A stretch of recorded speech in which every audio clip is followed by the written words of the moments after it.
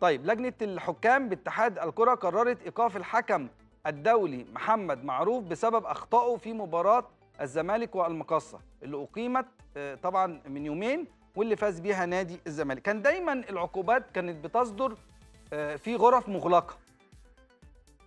فإن هي تصدر كده آه، بقرار من مجلس إدارة اتحاد الكرة أعتقد دي سياسة جديدة.